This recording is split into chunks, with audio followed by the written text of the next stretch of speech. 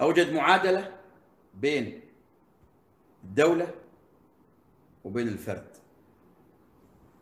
حقوق وواجبات متبادلة.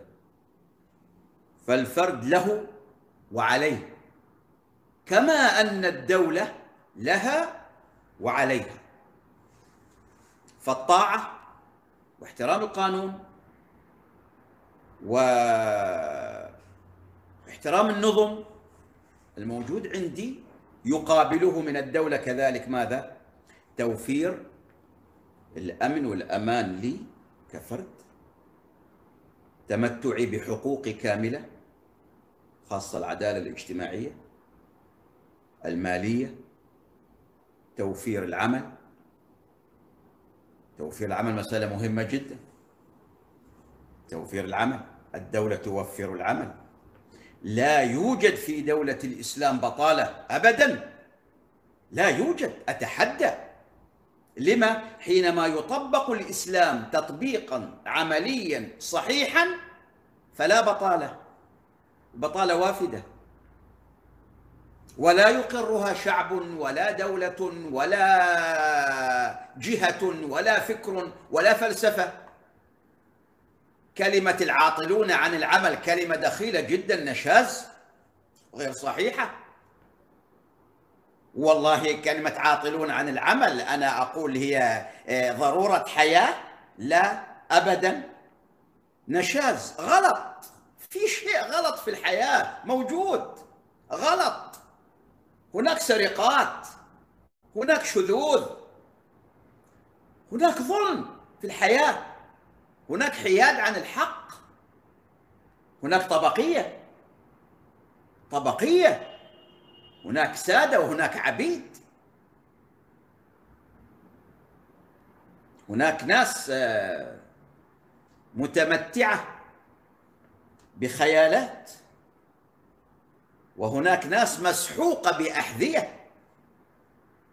نتيجتها العاطلون عن العمل. هذا الكلام أنا أقوله. ليس بحاجة إلى نص شرعي. هذا هذا بحاجة إلى نص فطري حياتي. نص عدل وإنصاف. هذا. لهذا الجهات الأفكار المغلوطة عند بعض الناس. يعني إحنا الآن عندنا طوائف من المسلمين. يريدوا يبدلوا الإسلام بغيره. يقول لك العقل لا النقل في ناس تسمون أنفسهم عقلانيين. يعني إحنا مجانين. وهم الذين توصلوا إلى العقل وقالوا غير الدين وفقا للعقل. أي عقل يا حبيبي؟ فهو دليل إنك أنت ما تعلمت في حياتك. أنت ما تعلمت. أي عقل؟ الحكم على العقل نسبي. ليس مطلق. عقلك أم عقلي؟ أم عقله؟ أم عقلها؟ أم عقولهم؟ العقل المخطط أم العقل المنفذ؟ من؟ ماذا تريد بكلمة عقلانيين؟ هذا منتهى الجهالة. هذا هذا هذا منتهى النشاز منتهى التخلف. إيش العقلانيين؟ ها يأتي الآن. يقول لك الإسلام لا لا الإسلام. نحن سنشرح لكم الإسلام.